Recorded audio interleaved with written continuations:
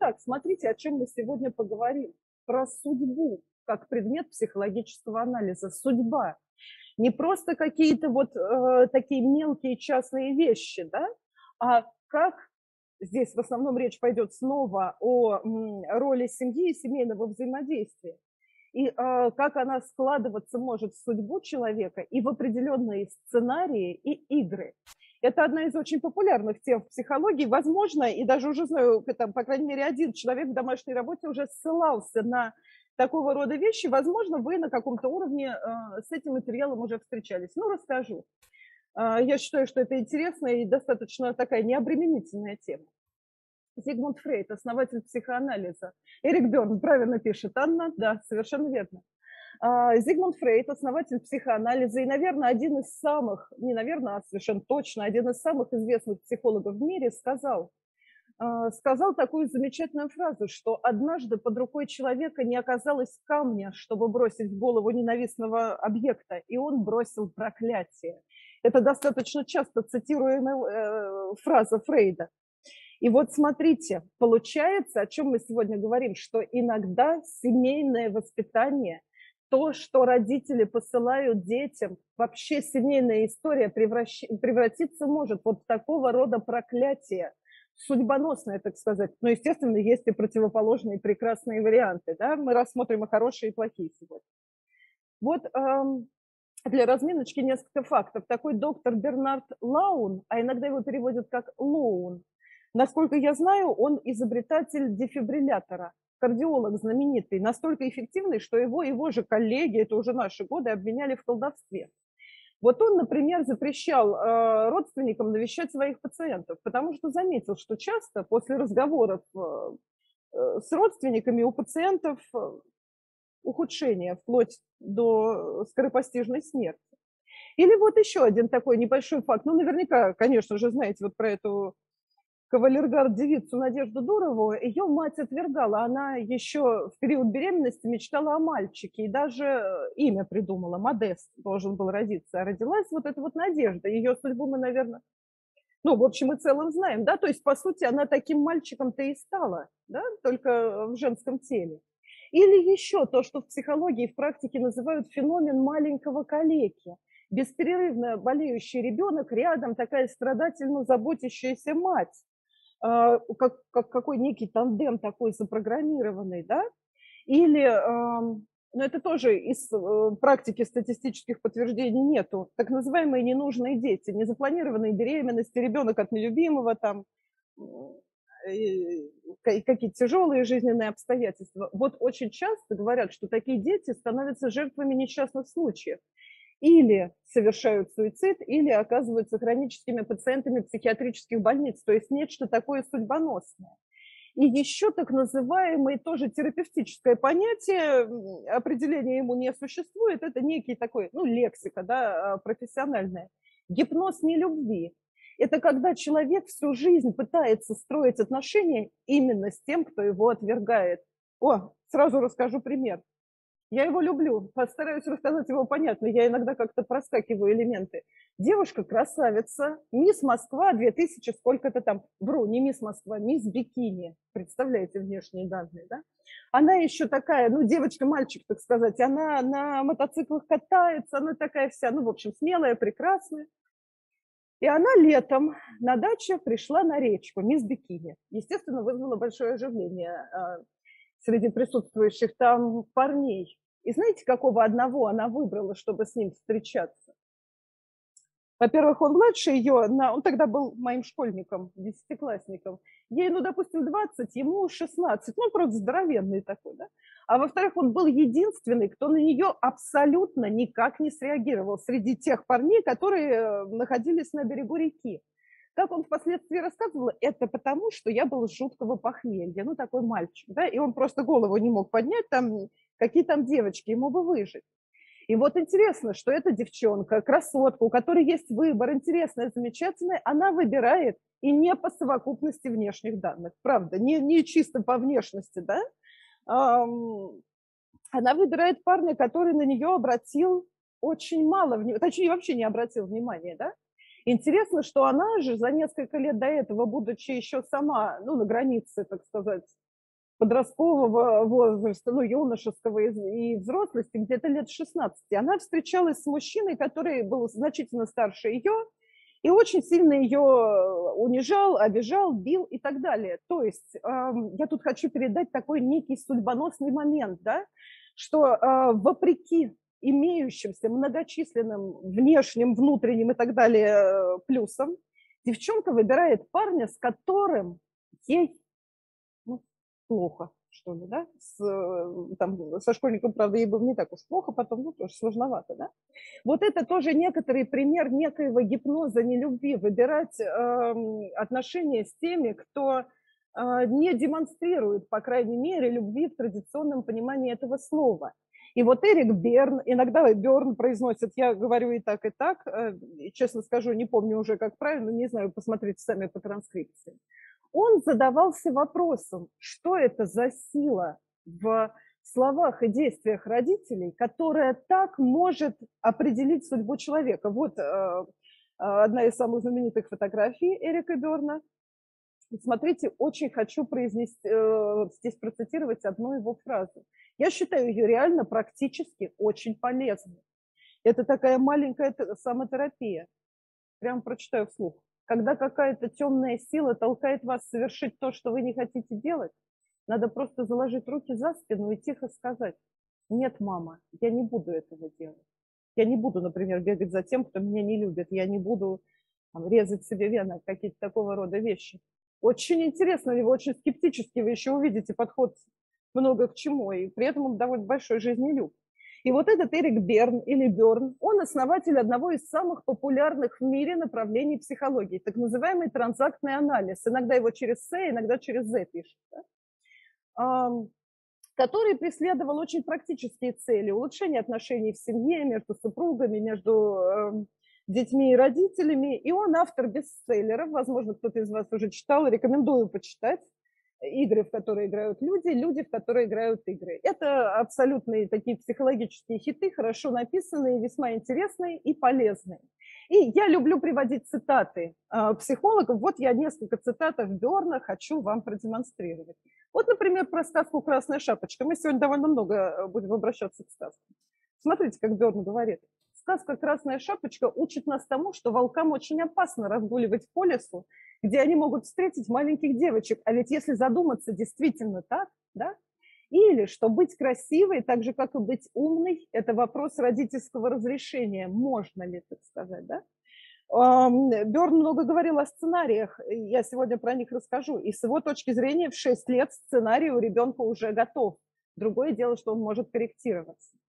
Еще одна очень важная его мысль, что из каждого указания родителей, как бы оно ни было дано, ребенок извлекает так называемое императивное ядро, указательное, да? некое указание. Что ж ты такой неловкий, говорит э, мама ребенку, а давайте прямо на реальном случае. Тоже девочка у меня школьница, такой скрупулезной, педантично аккуратной девочки, честно говоря, днем с огнем не найдешь. Очень-очень аккуратная. Но она про себя говорит словами мамы. Ой, руки не из того места растут, ой, вот криворукая, да? А, и мама, конечно, очень любит про нее говорить, ну что у тебя руки из одного места и так далее, да? А, вот девочка извлекла императивное звено. Ты криворукая, да? Всем добрый день.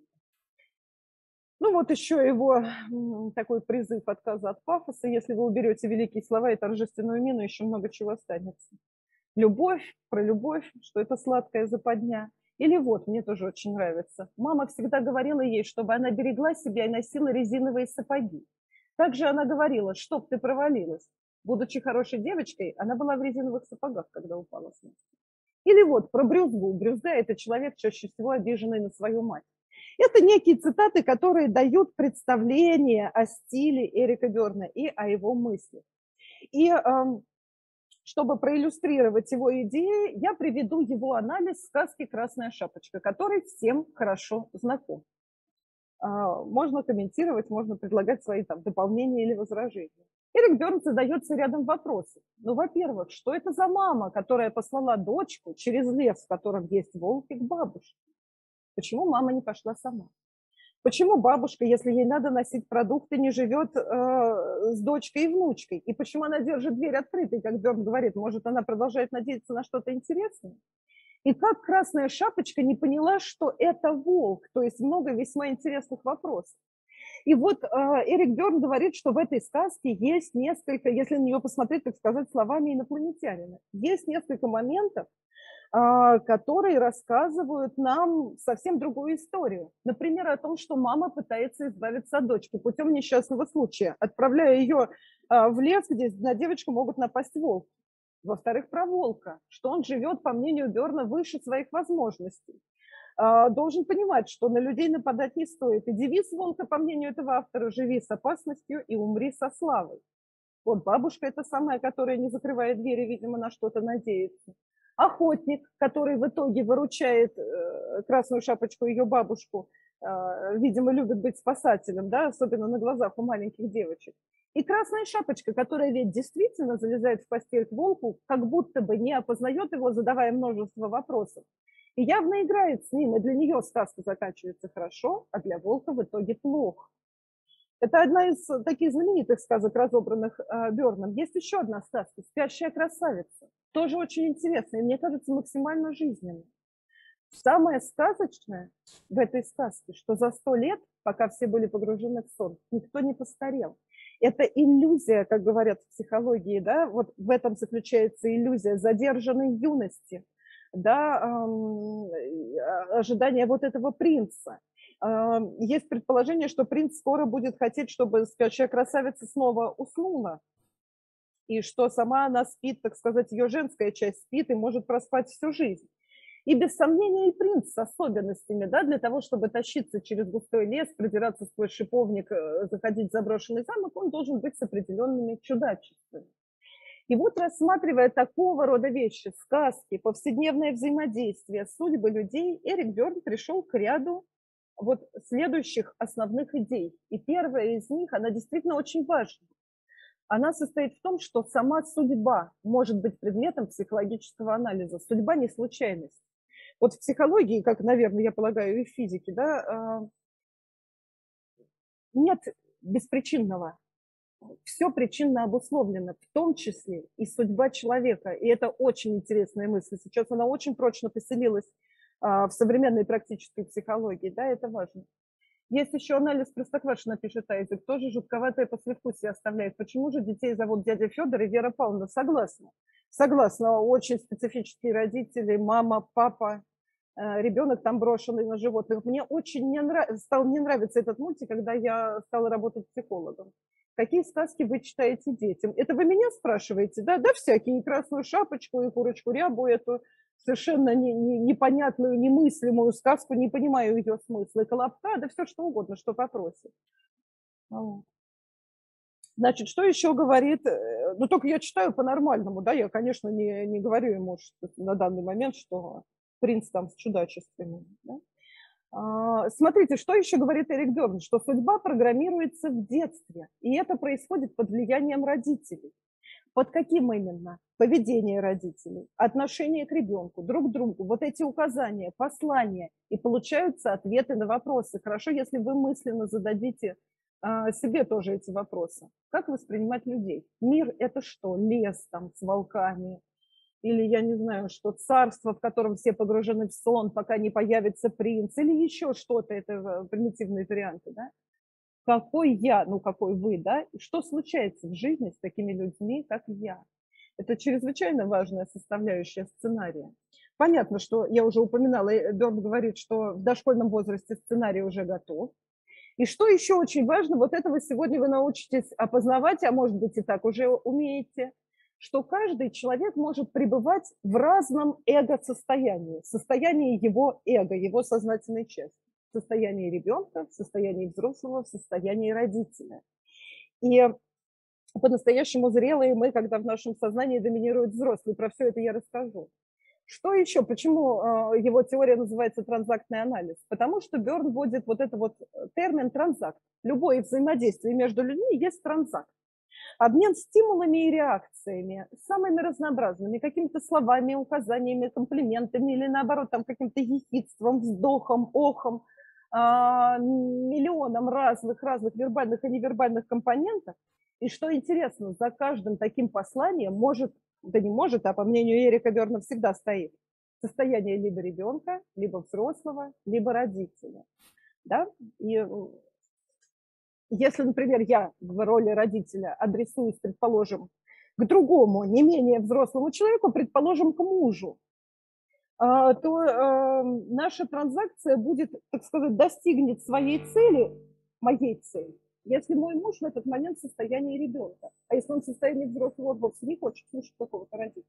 А если он сам в состоянии родителя, да, то э, будет некий родительский, так сказать, конфликт. То есть это имеет прямое отношение к психологии общения. Еще Эрик Бёрн говорил о том, что люди играют в игры, и эти игры я вам сегодня расскажу. И, как правило, выбирают себе партнеры а, тех, кто играет примерно те же игры.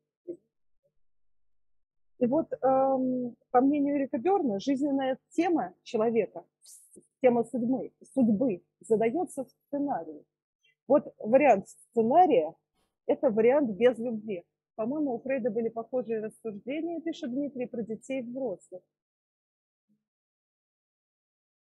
У него в другой терминологии, ну, в общем, да, это тоже растет, конечно, из психоанализа, да, растет из психоанализа без сомнения, но более такое практичное и, пожалуй, даже я скажу, понятное, более житейское такое. Да? Вот смотрите, например, заданность жизненной темы в сценарии. Папа, которому все время, ну пусть будет не до дочки.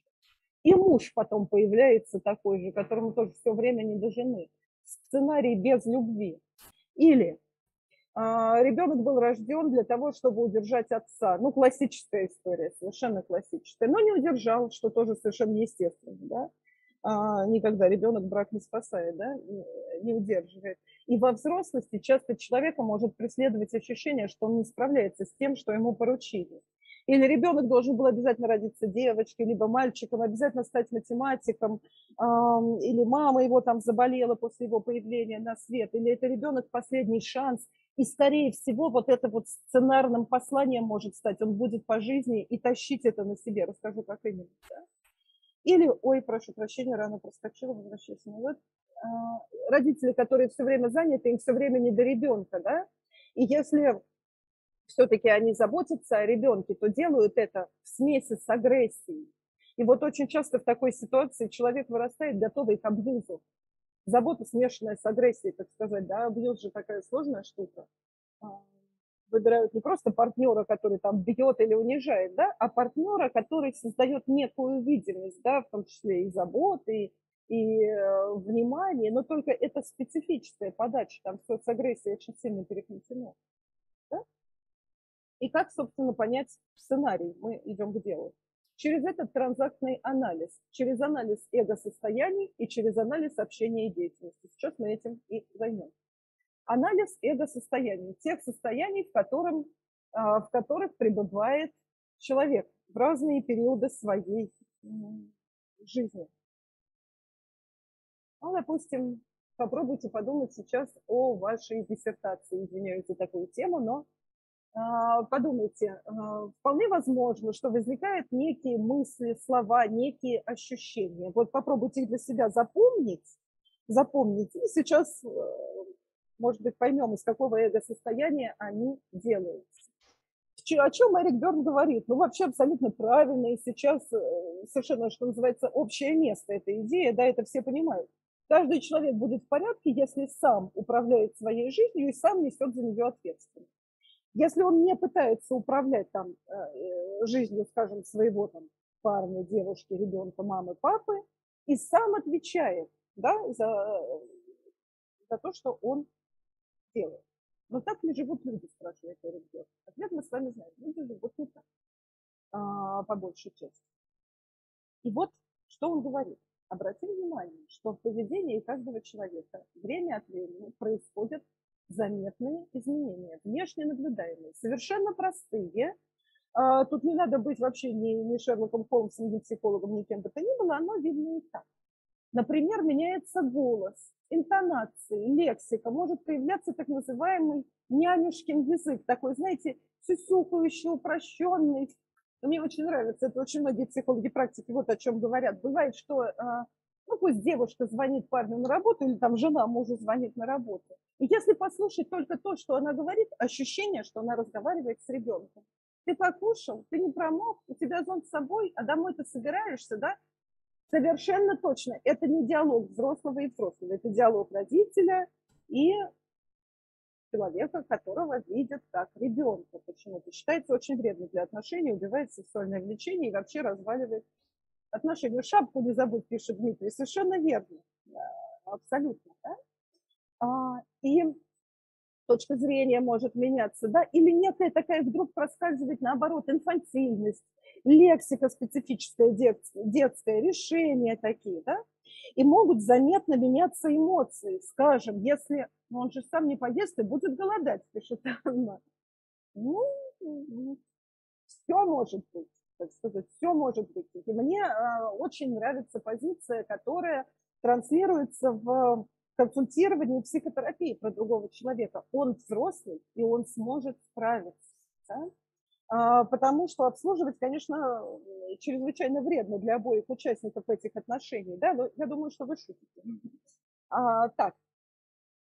Или вот про эту диссертацию я сказала, да, как вы про нее думаете? Может быть, у вас немедленно в голове ожили ваши внутренние родители, ваш внутренний родитель который стал строгим, таким или тревожным, предписывающим голосом рассказывать вам, как нехорошо и как неправильно вы сейчас действуете по отношению к исследованию, как надо. А может быть ребенок, который весело сказал, да забей, да ну нашли о чем, да, и все. А может быть взрослый, который реалистичен и а, как-то в контакте со временем, с реальностью, вообще со всем прочим. Ну ладно, суть в том, что вот эти внешние поведенческие речевые изменения и позиционные такие, они соотносятся, конечно же, с внутренним состоянием человека, с эго-состоянием. Их три – родитель, взрослый и ребенок. Вот они на свет. А, причем для каждого из них могут быть как позитивные варианты, так и негативные. Вот, например, родители. Родители – это ведь вообще очень хорошо. Это важные, хорошие люди, выполняющие колоссально сложные задачи. Другое дело, что родители, ну, родители могут быть по-разному. Бывают заботливые, опекающие, помогающие, уместно, сообразно нуждам ребенка, а может быть постоянно недовольно критикующий. Да? Точно так же взрослый. Вот мне кажется, в значительной степени характеризует физтехов. Естественно, могу неправомерно обобщать. Да? Объективная оценка реальности, да, ре, там, логичность, свобода выбора, осознание последствий прекрасно, великолепно, чудесно, да, но его вот этот вот нижний полюс, полюс а, да, это сухой логик. Человек, который, ну, вот таким компьютером-то жизнь не пытается прожить, да. А, хотя эго-состояние взрослого, естественно, наиболее такое э, в целом для жизни пригодное, великолепное, да, но и у него есть обратная сторона – и состояние ребенка. Это состояние ребенка, это наша детская часть, постоянно живая, а, эмоциональная, не думающая там о какой-то ответственности, творческая, обычно хорошо развитая или хорошо берет на себя, так сказать, силу, функцию, когда а, человек занимается некими творческими видами деятельности. Без состояния ребенка тоже нельзя. И в нем есть хорошие стороны, милый, творческий, прекрасный, там, э, любопытный, а есть зависимый, беспомощный, жертва, инвалид, хулиган. Вот такие вот негативные вещи. То есть смотрите, в чем тут еще, еще раз скажу эту мысль, вдруг я ее недостаточно а, четко озвучила. У каждого из нас есть все эти три эго-состояния. Как правило, какое-то в большинстве наших жизненных ситуаций является превалирующим, таким наиболее часто выступающим на первый план. Но периодически мы можем впадать в состояние родителя и ребенка с сопутствующим кругом эмоций, мыслей, а иногда там и с сопутствующими травмами, какими-то психологическими проблемами. И вот тогда, и вот тогда начинает рушиться и портится наше поведение, и исчезает э, конструктивность. Я сейчас, на секундочку, ребят, если холодно, закройте окно, то я когда вошла, советую. И вот смотрите, суть в том, что еще чуть расшифрую, находясь во взаимодействии с другими, человек проявляет то одно, то другое эго-состояние. Да, например, а, и каждый из них связан с определенным набором ролей. Вот роль родителя – это начальник, взрослый, старший брат, педагог, да, такая несколько назидательная, более свысока, а, дающая некий образец роль, да, утешает, помогает – поправляет и пилит самого себя. Кто часто себя пилит И если есть ОКР, обсессивно-компульсивное расстройство, ну, в данном случае я не в клиническом смысле, да, а некие навязчивые действия, повторяющиеся, с высокой долей вероятности указывать на очень сильного внутреннего родителя, постоянно что-то э, диктующего. Взрослый – это переработка информации, это объективность, это знание себе цены. И вот смотрите, какие тут роли. Я мужчина, я женщина, я работник, который знает себе цену, я ученый, да, я принимающий решения. И бывает ребенок, бывает эго-состояние ребенка, который выражает эмоции, приспосабливается, восхищает. Он может быть молодым специалистом, вечным подростком, да, любимцем публики и так далее. Тут еще обращу ваше внимание, но мы про это еще и в следующий раз будем говорить, про такого рода надломы, так сказать, да. А, бывает естественный, спонтанный ребенок, когда мы, так сказать, в веселом, непринужденном счастье. А бывает приспособившийся, адаптивно иногда называют тот, который пытается угодить внешним родителям, у которого постоянно в голове звучит вопрос, правильно ли он там нечто делает. И вот смотрите, по сути, а, ну это один из любимейших примеров в транзактном анализе, это муж, обращающийся к жене с вопросом, где мои ботинки, галстук, ноутбук, все что угодно, где наш кот. На месте ботинок может быть все что угодно, и вообще любой вопрос, даже не начинающийся с «где». И ответы, которые могут быть даны в этом взаимодействии. Пульт, да, где пульт? на месте ботинок может быть жена, пишет Дмитрий. Да, уж действительно. И эм, на этот вопрос можно ответить, исходя из разных эго-состояний. Да? Можно ответить, где находятся эти ботинки. Можно отчитать, да, почему ты никогда не знаешь, где твой пульт или твоя жена, скажем так. Да? Можно из состояния обиженного ребенка, что ты как э, меня вечно критикуешь. Можно из состояния ребенка, нуждающегося в платье, э, там, в поддержке в платье, ну и оговорочки по Фрейду. Значит, отстань, мне вообще нечего обуть к этому платью, да, или некое приглашение к сотрудничеству. То есть на самом деле, смотрите, один стимул, множество реакций, как всегда в психологии, из множества разных состояний. И вот эти вот эго-состояния хорошо бы научиться опознавать, потому что, например, эм, скажем, если ваша девушка, я сейчас, получается так, что к парням адресуюсь, да, если ваша девушка довольно эм, капризным, немножко детским голосочком э, просит, говорит, что что-то у меня ничего не получается, вообще так все плохо, все ужасно, да, на данный момент бесполезно к ней взывать из позиции взрослого и рационально объяснять, что все не так плохо, у нее есть что надеть, или там пусть она идет голой, или еще что-нибудь подобное. Да? Она к вам адресовалась из эго-состояния ребенка. И если вы отвечаете из эго-состояния взрослого, так постоянно, есть вероятность, что ребенок раскапризничается сильнее, так сказать. Само собой, на месте этой капризничающей девушки запросто может быть и парень. Запросто, просто запросто, да, адресующийся а, к девушке. И вот смотрите, значит, да, это первый шаг в анализе того, находимся ли мы в каких-то сценариях, это посмотреть, в каких эго-состояниях мы часто пребываем, да, а еще что э, Берн предлагает сделать, это анализировать общение. Общение чрезвычайно важно. Есть такая штука, она называется феномен госпитализма. Госпитализм от слова госпиталь. Это феномен э, внезапной и необъяснимой физическими причинами детской смертности. В случае, если ребенок находится в условиях социальной депривации, у него есть физический уход, но нет близкого взрослого, который выражал бы любовь, заботу. Алексей, закройте, пожалуйста, окно, очень холодно. Спасибо. Вот. А, вот э, тут у меня написано подробнее, да, а, ребенок, находящийся в недостатке общения, да, наверное, часто и взрослые, сначала они становятся апатичными, эти дети, вот в детских домах, например, да, у них могут происходить дегенеративные изменения, психозы, смерть, и вот в одиночном заключении считается, что именно вот эта вот социальная депривация чрезвычайно тяжела. Спасибо большое. Да?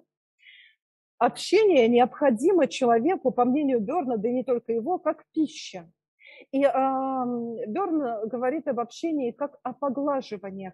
Некие такие приятные выражения признания, некие приятные слова и действия других людей. Другое дело, что в зависимости от характера, типа личности, они могут быть разные. Да? Кому-то, если это, скажем, актер да, да, или звезда соцсетей, Нужны миллионы поглаживаний, постоянно, регулярно, там, от анонимной аудитории, от кого угодно. А, скажем, э, сухому, сдержанному, самодостаточному ученому раз в год от уважаемого коллеги, в принципе, в общем и целом, по большому счету, может быть достаточно. Но суть в том, что обязательно вот эти вот, э, э, так сказать, компоненты общения, сами вот эти вот плюсики, которые дает нам общение, они абсолютно необходимы. И что еще интересно, что общение, да, а, как долго можно быть одному, пишет Иван Котов, без вреда для психики. Прям совсем одному. Я не знаю, Вань, я абсолютно не представляю. И полагаю, у всех э, это по-разному, это сильно зависит и от того, чем наполнено ваше одиночество. Я, можно, в ответ на ваш вопрос процитирую моего, одного из моих любимых психологов Фредерика Пёрзуса. Будет немножко грубо, он вообще такой Одиночество – это быть одному плюс куча дерьма, извините за такое слово. То есть одиночество – это сам по себе, да, вот я нахожусь один. И плюс нечто, что я туда затаскиваю. И вот уже, наверное, зависит от того, сколько я туда затащила, чего именно. Я не могу дать вам более хороший ответ. Значит, смотрите, что еще Эрик Берн говорит. Мы говорим на внешнем уровне частенько одно, а подразумеваем другое. Вот он приводит пример прекрасного диалога. Ковбой спрашивает у девушки, не хотите ли посмотреть конюшню? Девушка отвечает, ах, с детства обожаю конюшню. Они э, о чем-то договорились, хотя на внешнем уровне разговор шел о конюшнях. И по мнению Эрика Берда, в, таких, в такого рода взаимодействиях участников мог, э, может поджидать всегда сюрприз. Есть некие, так сказать, да, несказанные вещи, посланные из, одной, это из одного эго-состояния другому. И вот э, к чему я это все, сейчас перехожу к играм, смотрите, да, что в этом общении, в обмене поглаживаниями, транзакциями, скрытыми смыслами, посланиями от родителя ребенка, от взрослому взрослому и так далее, а, здесь закладывается основа для психологических игр. И самые простые мы можем наблюдать иногда даже в быту. Вот, например, э, довольно часто на этом, по крайней мере, раньше манипулировали продавцы. Там, эта вещь лучше, но она очень дорогая. И э, эго-состояние ребенка у покупателя срабатывает хочу, хочу, возьму. Именно ее-то я и возьму. То есть некая такая утрата рациональности. И вот из такого рода скрытых транзакций, когда что-то говорится, что-то подразумевается, когда на внешнем уровне я адресуюсь вроде как взрослому, а на самом деле сильно включила там давление на ребенка, рождаются игры. А, Эрик Берн приводит ряд признаков этих игр. Это ряд последовательных действий, весьма определенных, таких достаточно стереотипных у них часто прогнозируемый исход. Они часто неосознаваемые, такие стереотипные. Я вам покажу на примерах. Что характерно, что очень важно и плохо в играх.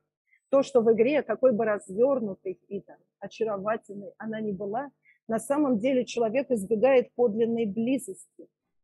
А, игра позволяет не контактировать с другим, а оставаться вот как заезженные пластинки на одних и тех же местах да, всегда есть некая скрытая выгода, есть некая ловушка для другого. Игры сопровождаются большими чувствами, и э, выигрыши в игре психологический, некий привычный, так сказать, гомеостаз, э, э, привычная такая, ну, семейный, допустим, да, некая устойчивость семейной дисгармонии, допустим, да, некое социальное одобрение, некие эмоции. Ну вот я вам сейчас покажу игры, мне кажется, я пока непонятно. Э, да, это Эрик Берн, автор игр, в которые играют люди, да.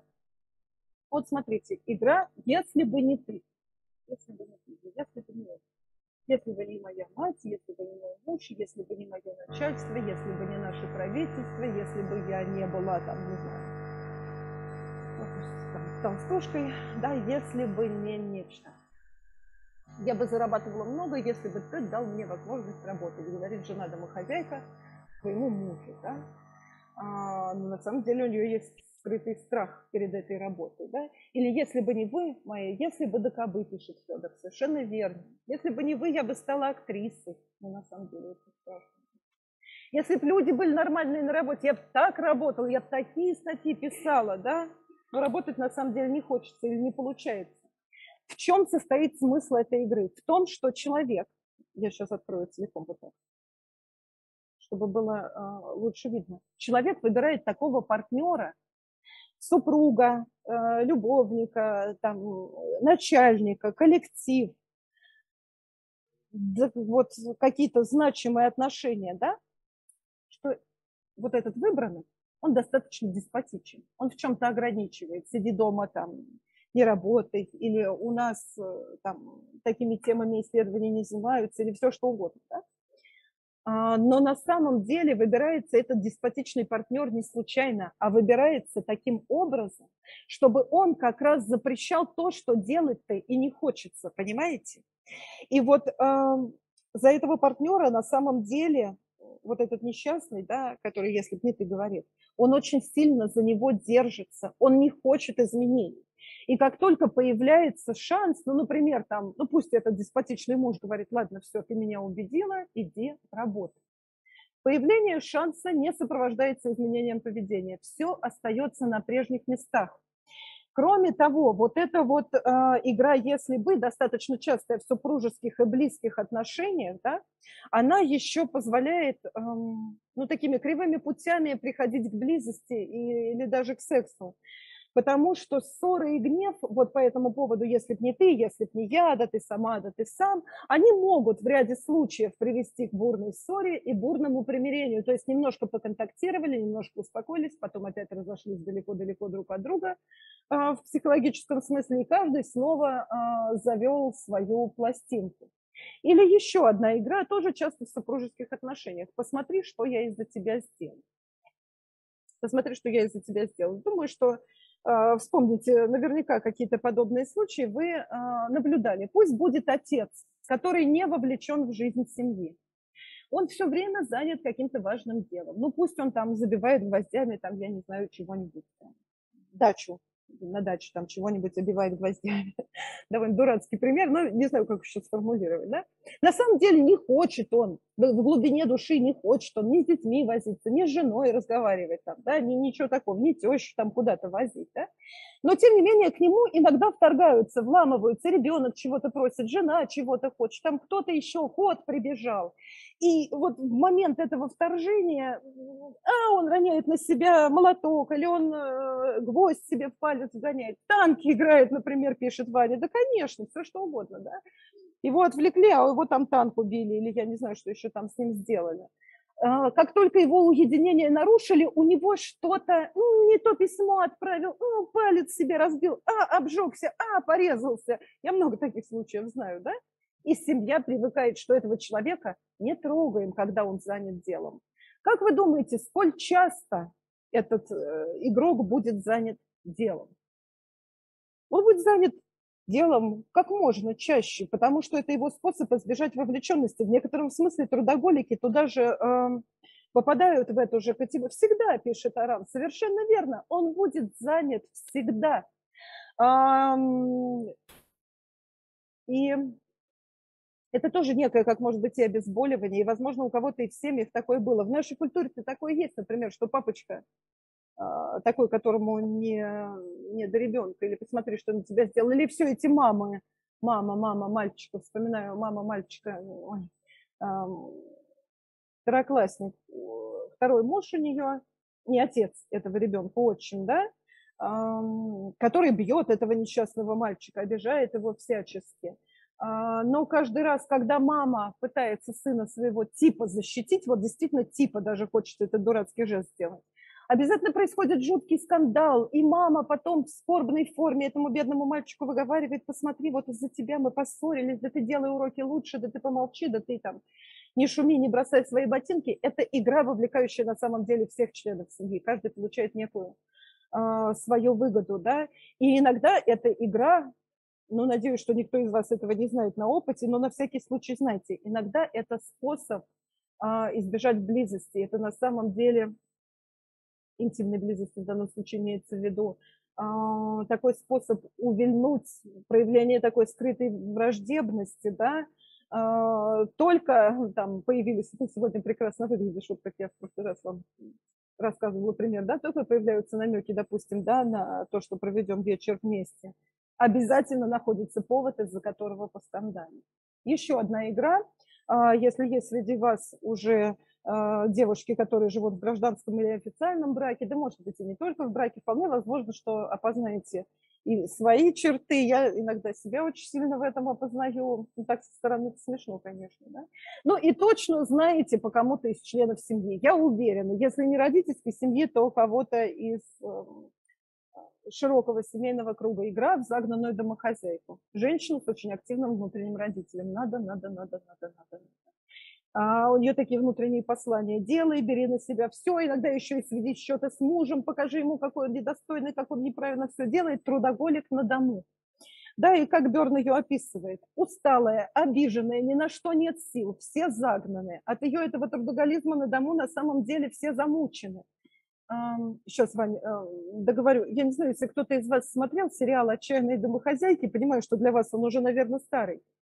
Там такая есть героиня Бри Ван де Камп, которая абсолютно идеальная домохозяйка, и в то же время от ее идеального домохозяйства, от ее безупречности абсолютно тошно всей семье. И здесь точно так же, да, и э, у вот этой загнанной домохозяйки такая сжатая жалоба. Я устала, и скрытая жалоба, никто обо мне не заботится, и она такая жертва. Так, Ваня пишет, непонятно, с проведенным вами случаем, с отчимом или ребенком, кто пытается уйти от интимной близости и с кем. Там может быть и никто, Ваня, это я просто сказала один пример вслед за другим. Э, случай с э, мамой, отчимом и ребенком, эта игра, наверное, не обязательно связана с интимной близостью, она связана с тем, что мама играет в эту игру, чтобы не развалить э, свой брак. Антон Ой, не туда. И э, для чего такая роль может быть снова нужна? Ну, трудоголик всегда. Трудоголик – это избегание, это от чего-то загораживаюсь. Да? Тут меня не трогать. Я так долго суп варила, что разговаривать ни с кем не могу. Да? Я такая усталая, что вообще у меня нет сил потерпеть твои жалобы. Да? И, и такого рода вещи. Еще одна игра. Тоже думаю, что знаете. Надеюсь, не по себе. Игра «Алкоголик». А, чрезвычайно распространенная, считается игра на всю жизнь. Эрик Берн один из тех, кто эффективно работает с алкоголиками. Нам интересно про алкоголизм говорить. Тут довольно много, я уже поэтому открою. Смотрите, там много ролей. Это и этот классический треугольник тиран, жертва, спасатель. Когда алкоголик то тиран, то когда он с похмелья, он становится жертвой, и на него тиранически нападает, допустим, жена, да? Тут много разных ролей. И цель этой игры, цель алкоголизма, психологическая цель, по мнению Эрика Берна, это самобичевание. Это удивительно. Ну и гадкий уже Ну-ка посмотрим, сможете ли вы меня остановить. А еще он так говорит про алкоголиков. Пьяный и гордый. В этом что-то есть. Вот эм, как опускаться на дно, а, так сознательно принижаться, да, чтобы получить некие страдания. Цель игры – последующие страдания, по мнению Эрика Берна. Внутренний родитель ругает внутреннего ребенка. И вот Берн лечил, он отучал заниматься самобичеванием этих алкоголиков. Как-то вот все снималось. И, э, выгоды в этой игре многочисленные. С другой стороны, интересно, что существование разных игр коммуникации, пишет Айзек, это проявление человеческого интеллекта, возможность закодировать посылы насказательные, и в то же время возможность другим человеком этот посыл распознать. Это очень хорошая мысль, совершенно верно. Знаете что, я не сказала про сценарий, в чем их беда? В том, что человеку трудно из него вылезти что если человек не рефлексивен, не осознает нахождение в сценарии, он так и будет на нем кататься. Ах, какие все вокруг плохие, посмотрите, что я из-за вас сделала или какая я загнанная домохозяйка, или какой я алкоголик, да, э, то есть исчезает гибкость э, репертуара э, поведения человеческого, и ограничиваются эмоции, ограничивается контакт. И вот смотрите, значит, еще про алкоголизм. Алкоголизм может исполнять системную функцию. На фоне алкоголика остальные члены семьи выглядят вполне ничего. Хотя если бы не было алкоголика, возможно, были бы отчетливее заметны их проблемы. Алкоголизм может быть вот этим самым симптоматическим поведением, каким-то посланием, каким-то отвлечением, каким-то способом слить агрессию. И по мнению Берна, алкоголизм имеет сходство психологическое с состоянием депрессии. Вот тут внизу курсивчиком написано. Все хотят меня обидеть, меня никто не любит, я умираю, и вы должны мне помочь. Что можно сказать про человека, пишет Петр, который при обычном знакомстве представляется Александр алкоголик. Александр отвечает, только хорошее, здравствуй, Петр, а я и не о тебе. Представляется Александр алкоголик. Думаю, что я, я бы предположила, что это шутка. Да, я бы предположила, что это просто шутка, но, конечно, я бы себе диагностическую гипотезу поставила, не ходит ли он на анонимных алкоголиков, нет ли у него зависимости, а зачем он загораживается, не талисман ли он и так далее. Так, Анна, непонятно другими буквами. Он действительно много пил. Или приглашение. А, да, действительно, или приглашение. Вот замечательно. Ну, давайте еще одну игру, там у нас еще впереди довольно много важного. Фригидная женщина. Все парни, которые долго бегают за какой-нибудь девушкой, и девушки, которые долго бегают за каким-нибудь парнем, потому что это может быть и э, симметрично мужская роль. Слушайте, смотрите, вполне возможно. Может, Александр представитель творческой профессии. Так какой-то анонимный алкоголик, если он говорит, что алкоголик. Ну да, да, тут есть некий парадокс между анонимностью и именем. Не знаю, я бы не стала тут заниматься гипердиагностикой, но внимательно бы, конечно, посмотрела. Вообще интересно, как люди представляются, да, и а, в каких формулировках. Есть такая замечательная психодиагностическая методика рисуночное имя когда надо нарисовать, написать, и там много, ну, кое-что придумать про свое имя, можем когда-нибудь сделать. Она чрезвычайно много тоже может рассказать о человеке. Кто я? Там, вот я, Александр Владимировна, Шурик там какой-нибудь, Саня или кто? Фокина, а, как бы там Александра Владимировна алкоголик, да, а, тоже много разных посланий может быть тут заложено, но на основании одного этого маленького признака все-таки не будем еще пока диагностировать, поостережемся. Ну, я Антон. А, так, фригидная женщина или всем мужикам только одно и надо. Достаточно типичная такая тема среди обиженных женщин, например. Но и среди обиженных мужчин. Вот эти вот мужские разговоры, что девочкам нужна только, нужны только деньги. Да? Возможно, они туда же. Значит, о чем тут идет речь? А, э, э, я буду говорить в женском варианте, но, повторюсь, это может быть и мужчина. Соблазнительная девушка, привлекательная кокетливая, или просто подающая понять, что мне интересно, там, э, приятно и перспективно с тобой общаться. Ты здесь не зря. Но когда парень приближается, она отскакивает. Ах, какая же ты скотина, ах, какое же ты животное, тебе нужно только одно. И э, возникают скандалы, да, мужчина осторожно отдаляется, да, допустим. Э, через некоторое время девушка снова посылает недвусмысленные сигналы о своей привлекательности. И когда он снова приближается, он снова получает да, некую агрессивную реакцию. Если э, парень опознает игру, не обязательно он говорит, что это игра «Фригидная женщина» по Эрику Берну, а просто он говорит, ты тут что-то странное делаешь, да, ты сама меня провоцируешь, а потом сама же и отталкиваешь, в этом что-то есть. Понятное дело, что девушка обидится, да. Безусловно, это игра для поддержания интереса, для собственной там уверенности, для манипуляции, для избегания близости. Ну, то есть вот она такая тоже весьма э, с психологической точки зрения насыщенная и э, многоплановая. Но вот эти вот игры, это некоторые из самых популярных игр, которые описал Эрик Бёрн. Это уж совсем такие застрявшие в сценариях люди, застрявшие в играх, действующие однотипным образом во множестве жизненных ситуаций а есть еще сценарий. Вот Эрик Берн эм, говорил так, что я не знаю, есть ли человек без сценария. Возможно, есть, возможно, нету. Не понимаю, и на данный момент не существует ответа на этот вопрос.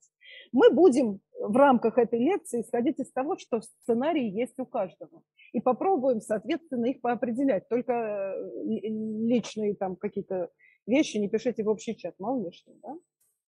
По большому счету, а, да и по большому счету, зачем это странное выражение, Эрик Берн выделяет три сценария. Три сценария. Победитель, непобедитель и неудачник. И а, это вот очень сильно муссируется сейчас во множестве психологических публикаций, а, такая как табличка «Я плюс», либо я, я плюс, ты плюс, я плюс, ты минус, я минус, ты плюс, я минус, ты минус. Понимаете? Могу написать на доске. Но я думаю, что вы понимаете. Если я хороший, и ты хороший, да, это один из признаков сценария победителя. И я в порядке, и другие люди в порядке. Если я плохой, и ты плохой, это сценарий неудачника. Сценариев может быть несколько. Может быть, относящихся к разным сферам жизни. Я сейчас их еще покажу, да? значит, на сочетании того, как человек относится к себе и другим, рождаются разные виды сценариев. Я покажу чуть более такой понятный сценарий «Кто я?». И э, вот вы почитайте внимательно и послушайте, да, и э, наверняка уже определите, какой сценарий у вас. Сценарий победителя весьма редкий, очень хороший, очень замечательный. Это такая сила, энергия, победность и радость от жизни, которую может дать семья как правило, очень любимый ребенок, действительно любимый. Это не значит избалованный, это не значит, которого не критиковали или которому все давали. Это значит ребенок, которого искренне, очень сильно любили его родители. А, вот, который, соответственно, такое послание и получил в своей семье. Победитель достигает поставленных целей и он рад этому. У него нет так называемого невроза успеха. Невроз успеха описал Фрейд человек достигает э, цели, о которой мечтал годами, например, хотел построить дом, построил дом, и у него начинается депрессия. Вот у победителя не так. Он строит дом, и он счастлив. Повезло, я победитель, пишет Глеб. Очень хорошо. Я думаю, что среди вас, аспирантов физтеха, больше победителей статистически, да, или как-то в процентном отношении, чем в популяции, потому что вы э, студенты прекрасных вузов, и сейчас еще и аспиранты, прошедшие отбор, там, да, и а, и так далее. То есть, по крайней мере, по а, способности выдержать образовательную систему, понять, чего хотите там, в профессиональном плане, вы без сомнения, я полагаю, все победители. Другое дело, что есть еще сферы жизни, тут надо посмотреть повнимательнее. Да?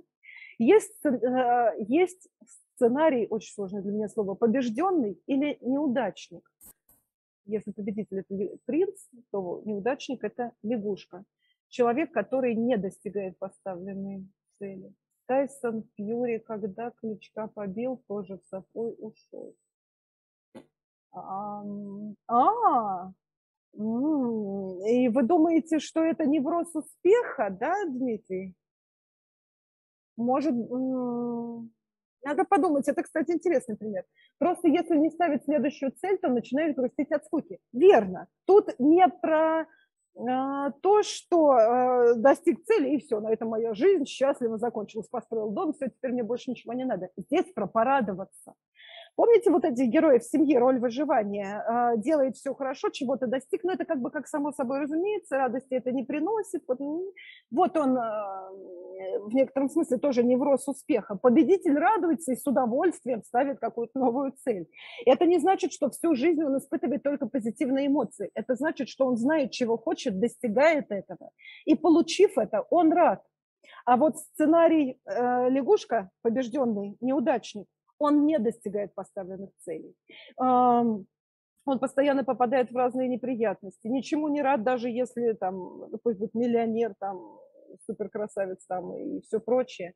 И по мнению Эрика Берна, четыре основных вида вот этого негативного сценария. Одиночество, бродяжничество, сумасшествие, смерть. Насилие – особый вид подытоживания судьбы. Почему-то ассоциация с царевной лягушкой. Она, кстати, по-моему, победительница. Лягушка на болоте, стрела внезапно прилетает к ней, она отхватывает себе принца, причем очень неплохого, насколько я понимаю, становится там в итоге самой любимой и восхищаемой, побеж... Э, восхищаются ею, побеждает других невесток. Эти танцы с какими-то костями, да, то есть она, мне кажется, победитель. Значит, Дмитрий, вы думаете, что вот этот вот Тайсон Фьюри, у него был невроз эм, невроз успехом. Все может быть, может быть, да, может быть. И не победитель, банальный сценарий, ни плохой, ни хороший, очень распространенный, а, тяжело трудится, достигает там чего-то, но не до, до победы, а для того, чтобы удержаться на плаву. Немного выигрывает, слегка проигрывает. Начальником не станет, но и не уволят. Вот эм, такого рода э, сценарий. Запой это может быть как проявление радости, так и грусти, пишет Антон. Вообще-то запой – это третья стадия алкоголизма, которая считается уже неизлечимой, если это именно запой. Да, и если есть симптомы всех предшествующих э, стадий. Если он весело попьянствовал или грустно попьянствовал, да, там, э, денечек, то это не запой. То есть если вы тут именно терминологически употребляете запой, то это уже третья стадия алкоголизма, вещь крайне опасная, крайне опасная. Да? Вот еще немножко про эти сценарии вам покажу. Да? а, тут чуть-чуть подробнее в табличке расшифровано. Значит, победитель достигает чего хочет, рад, доволен, у него все получается, искренне, открытый. Ну, это в значительной степени портрет психологически здорового человека. Не то, что уж там у него прям совсем никаких проблем нет, да? Но базовое состояние благополучное, достижение, с достижениями справляется, свои сильные и слабые стороны знает, да? А, верит в себя, такой настойчивый, волевой и так далее – хорошие качества, замечательные качества. Тут они выглядят немножко такими утрированными, но на самом деле бывают такие люди, да. А, не победитель, он в некотором смысле осторожнее. Он такой, я бы сказала, средний. Это неплохой сценарий. Он тоже конструктивный, он тоже позитивный, он не такой блистательный, скажем так. Это человек, который сможет выжить, человек, который каких-то целей достигнет, и, скорее всего, у него могут быть такие убеждения, что самых талантливых самый большой спрос. Там, да? а, есть те вещи, где можно и особо-то ничего не достигать, но сделаю по минимуму и достаточно. Если трудно, то, может, и не надо, да? А, вот, ну, неплохо, совершенно неплохо, и во многих сферах большинство людей именно в таком состоянии, там, я не знаю, не обязательно выигрывать на каком-нибудь конкурсе домохозяек или самых лучших водителей машины, или тщательно их всех припарковаться, да, прям на, на, идеально, да, некие такие непобедители. И вот неудачник. А, неудачник – это тот, у которого а, все не получается, так сказать, да, нет в жизни счастья, из одного плохого в другое плохое, и ряд убеждений, что быть там, не знаю, красивым, успешным, богатым на самом деле опасность, иди не высовывайся, с умными не дружат, богатых убивают, там все что угодно, да. А, где-то в глубине есть убеждение, что успех таит в себе опасность. И именно этот успех, э, вот именно это убеждение, оно от этого успеха, так сказать, и отдергивает. И вот сценарий, какова моя судьба. Смотрите не те цели ставит, значит. Да, скорее всего, он ставит не те, не те цели. Он ставит цели, защищающие его самооценку. Он ставит цели, которые позволяют не попасть там, в то, что он считает чрезвычайно опасным. Но вот сейчас еще немножко сценариев покажу. Они уже не с играми связаны, там типа загнанная домохозяйка, да, или кредитная женщина, или что-нибудь подобное. Они связаны с таким стилем поведения, скажем, человека. Вот сценарий пока нет ну, не, не знаю, пока не закончу физтех, отношения не буду заводить. Зачем? Пока не похудею, не буду счастливой, э, положим, да. Пока не зарабатываю там, ну, некую сумму, да, путешествовать не буду. Но смысл в чем этого сценария? Что когда заканчивается что-то, ну, не знаю, похудела, да, возникла некая другая проблема, посидела к тому моменту, допустим, да, и, а, еще что-нибудь такое случилось. Опять, опять, опять откладывается. И вот так все время, пока не, пока не, пока не. Так и не получается. Там, пока не стану начальником, не буду жить счастливо, не буду считать себя успешным. Вот такого рода отложенная жизнь, да. Или сценарий после. После. Он отличается, тут другая последовательность. После того, как хорошо вот сейчас, допустим, как же сформулировать, после того, как нечто хорошее закончится, будет плохо. Да, мы начали встречаться, но он меня бросил. Да, я сейчас получила эту должность, но скоро все заметят, какой я некомпетентный или какая я некомпетентная, и меня отсюда вышвырнут. Да, сейчас я похудела, но я поеду к бабушке и там вернусь оттуда снова колобочком. Это такие очень эм, условные примеры и это очень важная вещь. Если вы видите в себе проявление такого сценария, сделайте себе какую-то вот прям пометку, что это есть. Мы про это еще будем разговаривать, потому что это очень диагностично. Дамоклов меч. А я как написала? Или... А, Дамоклов, а не Домоклов. Спасибо, извините. Ужас, все, конечно. Да, спасибо большое. Да, Дамоклов, конечно же, а не Домоклов. В общем, в этом сценарии человек все время видит ложку дегтя в любой бочке меда. Сейчас хорошо, но потом-то будет плохо. Не смейся так много, потом поплачешь. И сценарий никогда, и они будут сейчас еще, желаемое никогда не удастся получить. Да, я могу встречаться вот с этой девушкой, но с той, которую я люблю по-настоящему, не смогу. Да, я замечательный, там, я не знаю кто, ну, допустим, я замечательный физик, но хочу-то я быть космонавтом на самом деле. Ну, наверное, это достаточно э, странный пример, но тем не менее. Смотрите, и еще три сценария. Еще три сценария. Сценарий всегда, тоже очень диагностичный. А поведение, когда готовишься к худшему, а надеешься на лучшее, это что, спрашивает Дмитрий? По мне, так это реализм и здоровье, это такая практичность. Да? Э, мне кажется, что тут это, это экзамен, пишет Александр. Да, в некотором смысле. В некотором смысле. Э, выжить можно только с опорой на реальность. Плохое случается. Да? Поэтому готовиться к худшему и при этом надеяться на лучшее, я пока что в таком описании в этом вижу э, здоровье. Но мы еще доберемся до тех способов, которыми можно поопознавать в себе сценарий. Может быть, вы найдете что-то еще. Сценарий всегда тоже очень... Это опасный сценарий, да, это опасный сценарий.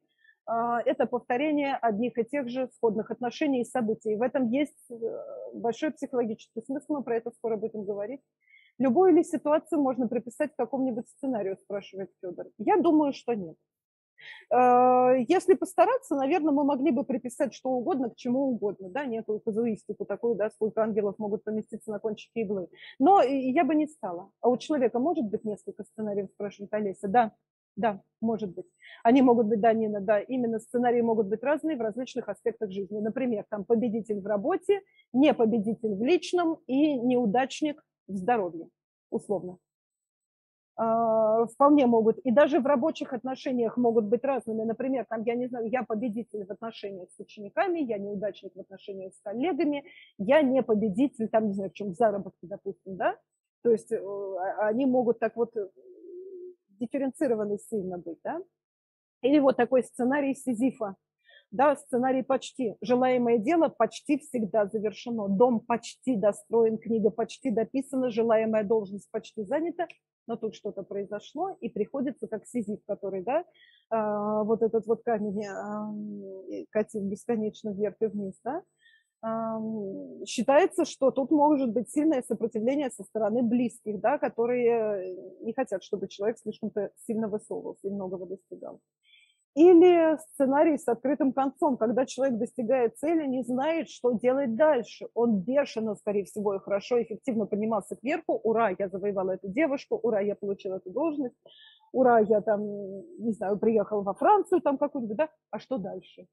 Ой, я замужем, а дальше что? Ой, тяжело. Ой, я декан, а что теперь делать? Какой кошмар, сколько бумаг, да? А, то есть такое а, неопределенность, что делать с успехом, да?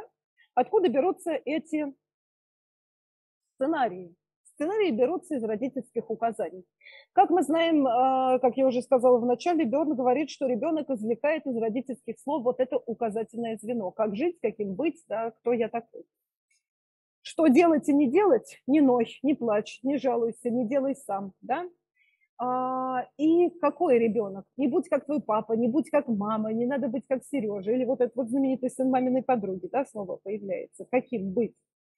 И родители отправляют ряд сценарных посланий. Вот как надо. И это могут быть и хорошие послания. Вот как надо решать проблемы, да, э, показывать своим поведением эффективные и здоровые родители.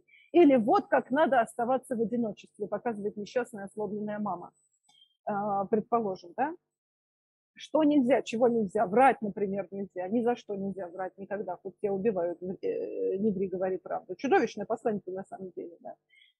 А, или, ну, не знаю, нельзя высовываться, нельзя влюбляться, нельзя там, никого предавать уже. Этого человека все со всех сторон предали, а он верный до сих пор, да. И тон, тон, тон, которым родители обращаются к ребенку, он тоже передает некие вещи, да Потому что сказать все можно по-разному, и в интонацию могут быть вложены разные послания. Нужен ты мне или не нужен, нравишься или не нравишься, любимый или ты или нелюбимый, смешной или смешной, там все что угодно. Берн приводит такой пример. Мама сказала двум своим сыновьям, частенько повторяла, вы оба закончите в психушке. Так оно и вышло. Один стал врачом-психиатром, второй э, хроническим психиатрическим больным. Или любимый пример Берна. Отец говорит сыну, подростку, который напился, тебе еще рано пить виски ребенок слышит в этом такое послание, что когда придет пора быть взрослым, пей виски. Да, то есть на самом деле сказано одно, а получено указание другое. И есть еще одна вещь, мне кажется, вы скучаете. А... Драйверы. Драйверы. Особо значимые указания. Они меньше, чем сценарии, они достаточно хорошо видны по человеку, может быть, что-то опознаете по себе, по знакомым, а, по каким-то литературным персонажам. Особо значимые указания. Их, сколько у нас получается, пять. Будь лучшим.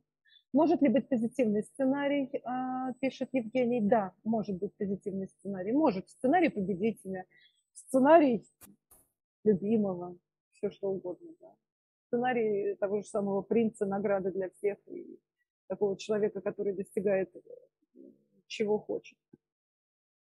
Вот смотрите. И вот еще эти драйверы, домашнее задание, один из вариантов, он про драйверы, про то, чтобы попробовать опознать свой драйвер. Ага, один спрашивает, смотрите, старшие сиблинги тоже могут оказывать влияние на ребенка, не только родители? Да, конечно от старших сиблингов может довольно часто, по крайней мере, в терапии, в консультировании мы сталкиваемся вот как раз с заботой, смешанной с агрессией. Представим себе ребенка, ну, допустим, 8 лет, на которого навесили заботу о младенце. Неудобном, крикливом, хоть и очень милом, конечно, существе, э, там, с его какашками, с его пустышками, с его вечным разрушением игрушек, с его вечным вторжением в чужие пространства, да, и старший ребенок вынужденный заботиться о младшем, весьма часто передает ему заботу, смешанную с агрессией, потому что не должен быть старший этим родителем. Ни в коем разе, никогда-никогда. Это не его задача. И может быть передано такое послание, да, что я тебя обслужу, но при этом наваляю, извините, да. Иногда могут быть и позитивные вещи переданы со старшим сиблингом. Бабушки иногда передают совершенно прекрасные э, сценарные послания, совершенно безусловную любовь и родители, и а иной раз и какой-то воспитатель, да, учитель, педагог. Про какого-то ученого я читала, забыла совершенно про кого, извините, отечественный. Он почему-то воспитывался в детском доме, и определили его в детский дом для умственно отсталых, когда он был маленьким. И однажды одна воспитательница подошла к нему, он еще ребенком был в этом детском доме, отвела его в сторонку и сказала ему, довольно строго, на ухо. Сказала, я должна тебе сказать одну тайную вещь. Ты должен ее понять. Тебе здесь не место. Ты будешь великим ученым. Ты не такой, как они. Ты отсюда выберешься. Ну, вот какие-то такие вещи она сказала. Так она и вышла. Честь и хвала тому педагогу, который заметил этого ребенка, да, и правильную, значимую, так сказать, вещь. Ну, значит, вот они, эти драйверы. Они достаточно хорошо видны по человеку. Например, будь лучшим. Это, конечно, перфекционист, который еще и постоянно сравнивает себя с остальными, который пытается э, победить. И это может быть очень продуктивный человек. В общем и целом ничего плохого в том, чтобы быть лучшим в чем-то, да, самом по себе нету. Плохо это бесконечное соревнование и неуспокоенность, перфекционизм, если он есть, да. А, как правило, достаточно взрослыми, собранными, рассудительными выглядят такие люди, действительно педантичные, тщательно все выполняющие, но внутри может быть очень тяжело, да? Или будь сильным. Это вот все люди, которые не позволяют себе проявления слабости, какой бы то ни было, а, как будто бы не устают, не плачут, а иной раз и не смеются, не ласкаются, не, не дурачатся. Бесконечная сила, это может быть и парень, и девушка – но вот тут, э, к слову скажу, наверное, уже говорила, и все-таки скажу, врачи говорят, инфарктники не плачут. Вот инфарктники, они такие, будь сильным. Да, они э, не позволяют себе там каких-то жалоб, там, отвлечений куда-то. Они просто доводят свою жизнь до вот этого вот сердечного приступа. Весьма опасное послание, очень опасное. Хотя, опять же, сила сама по себе, да, способность к самообладанию – это хорошо. Или старайся старайся, старайся. Это, конечно, сильно связано со школьным обучением. Выйди, зайди нормально, перепиши заново. Знаю я море детей, которым, э, которые в том числе и теперь взрослые, которым вечно приходилось переписывать эти домашки до безупречности, и все начинать заново, и все переделывать. Э, это чревато впоследствии и ОКРами, обсессивно-компульсивными расстройствами, и тоже и перфекционизмом. И никогда человек не получает ощущение, что дошел до цели. Все время недостаточно старался и, ориентирован часто на то, как вот там другие оценят. А чтобы другие хорошо оценили, это надо быть в очень здоровом окружении. У нас другие это в основном по Сартру, он сказал, ад – это другие. Да, мало кто оценит по достоинству. или радуй других. Люди, которые пытаются угодить, пытаются быть хороши для остальных, утешить, поддержать, помочь, развеселить. Здорово, на самом деле, слава богу, да, и честь и хвала этим людям, как шутка такая, знаете, есть девушки, которые нашли себя на помойке, спасибо вам большое. Да? Это тоже немножко э, радует других, хотя оно очень э, разное бывает, в очень разных видах может быть, но у человека в собственной жизни тяжело. И спеши вот это вот быстрее, давай скорее, быстрая речь, быстрые действия, быстро меняется, быстро вертится. Очень хорошо знает этот драйвер. Сценарий можно расколдовать. Мы переходим к такой Э, части, в которой я кое-что расскажу, что можно с этим сценарием делать. А, если есть Если драйвер сам по себе со временем вас убивает, это не драйвер, пишет Евгений, это драйвер. Это, но драйвер, который э, помножен на коэффициент осознанности, скажем так. Если я в себе это поняла, обнаружила, понял, обнаружила, осознал, этот драйвер не будет так себя долбить. Я могу, э, ну, давить, я могу сама этому драйверу возразить. Я могу когда-то сказать, что мне не обязательно так спешить, не обязательно так стараться или быть лучше, там, или радовать людей. Да. Но это значит все равно драйвер. Может ли у человека быть несколько драйверов, спрашивает Арам? Могут. Могут. Обычно чем тщательнее и директивнее воспитание, тем больше может быть поселено драйверов. Я считаю, что э, это сейчас будет совершенно гуманитарское такое да, заключение, но я считаю, что у огромной доли парней физтехов, и, кстати, и девушек тоже, есть драйвер «Будь сильным». Будь сильным. Абсолютный запрет на чувства, абсолютный запрет на пожаловаться, на э, то, чтобы позволить себе что-то да где-то быть несовершенным. Из этого, кстати, в том числе рождается прокрастинация и много других э, серьезных э, психологических проблем, о которых мы тоже будем разговаривать. Я думаю, что драйверы вам знакомы. Вот немножко про Кеплера прочитала такое, что якобы его мать за сварливость, гневливость, мерзкий характер и жестокое э, такое пренебрежительное обращение с детьми считали ведьмой. И в итоге сожгли на костре. Я прочитала это в популярной литературе, вполне возможно, что это и не так, да, но а, но, но, но процитирую, да, э, хотя никаких доказательств ведьмовства не нашли, за исключением, физтехи не плачут, они просто сидят в углу, обхватив колени руками и смотрят в точку. Чудовищно, чудовищно, абсолютно чудовищно. И э, суицидальность с этим может быть связана, и депрессия и так далее. Если я все время должен быть лучшим, должен терпеть, не сорваться, или там должна быть сильной, господи, а жить-то когда и как, и на черта-то все время быть сильным, это совершенно невозможно, это жуткие послания. Это жуткие послания, они ужасно разрушительные. И, в общем, она проклинала своих детей и посылала им послание, чтобы они умерли, ушли из этого мира. И вот по мнению Анны Кирьяновой, у кого я это прочитала, она философ и публицист, Э, Кеплер стал великим ученым. В своем роде он выполнил только позитивно послание мамы, ее сценарий. Он покинул этот мир, но не умиранием, да, а обращением к звездам, которые он изучал, да, и стал великим в этом. Напомню, ой-ой, э, что вот это вот, нет, мама, я не буду этого делать, это действительно, я не плачу, это просто слезы, господи, как ужасно, я надеюсь, что вы, что вы шутите, хотя вообще-то поплакать, это ведь очень освобождающие вещи, очень хорошие. Но я знаю, что даже люди, которые доходят до психолога, которые пришли в отчаяние, потому что на самом деле в России, как мне кажется, большинство людей приходит к психологу в отчаянии, как вот эти шутки э, про врачей есть, да, что скелет на пороге стоит, и врач говорит, ну что ж вы так долго тянули? В общем-то, а, приходит действительно скелет. Я не плачу, это дождь. Да уж, а, да, плакать-то, в общем, полезно. Значит, смотрите, про расколдовывание сценария, про то, как с ним справиться. А, я это все упражнения эти вам сейчас расскажу, кто хочет, сделайте, и это будет как, э, в общем, один из вариантов домашнего задания, описать там, что у вас получилось в тех пределах, насколько вы можете себе это позволить, все это композиционно. Да? Ну, самое главное, что чтобы завершить сценарий, под дождем не видно, что ты, оба, расплакался, но он не может идти вечно.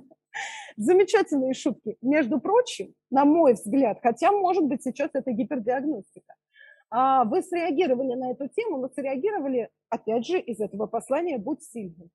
а, посмеялись, пошутили, ваш великолепный юмор, шутки, остроумие, да? Ну, и никакой слабости, боже мой, не боже мой, надо быть сильным.